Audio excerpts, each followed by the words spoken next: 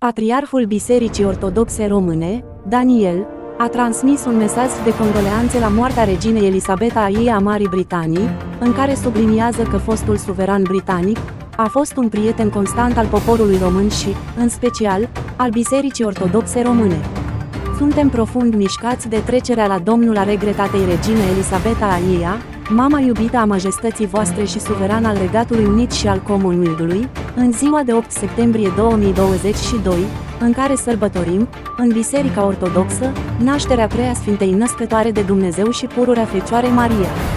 Cunoaștem legătura apropiată pe care majestatea sa regina Elisabeta Aia a avut-o cu familia regală a României, în special cu fostul rege Mihai al României, pe care l-a apreciat atât de mult, se arată în mesajul transmis de întâistătătorul Beore regelui Charles al Patriarhul amintește că, în același timp, majestatea sa a fost un prieten constant al poporului român și, în special, al Bisericii Ortodoxe Române, în strădania de a trece prin vremurile grele ale dictaturii comuniste.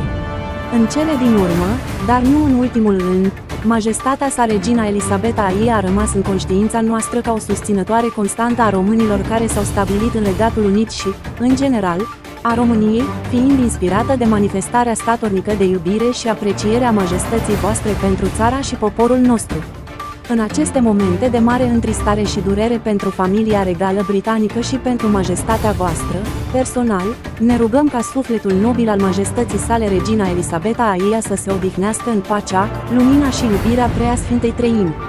Veșnica ei pomenire din neam în neam, a transmis patriarhul Daniel. Regina Elisabeta a ei a murit joi la vârsta de 96 de ani, în castelul Balmoral din Scoția. Fiul său, prințul Charles, i-a succedat automat la tron.